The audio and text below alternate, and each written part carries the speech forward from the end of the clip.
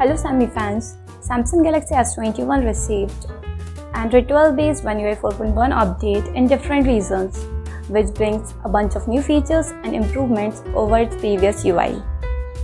If you also own a Galaxy S21 series smartphone, then this video is going to be very useful as we will show how to check One UI 4.0 update on your Samsung Galaxy S21 smartphone.